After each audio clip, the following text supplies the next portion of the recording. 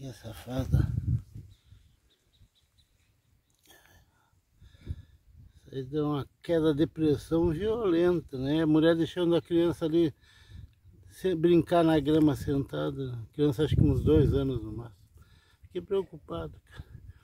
Depois saiu aqui disparando com o filho dos outros para um hospital, ainda me acusam de, de, de sequestro. É complicado.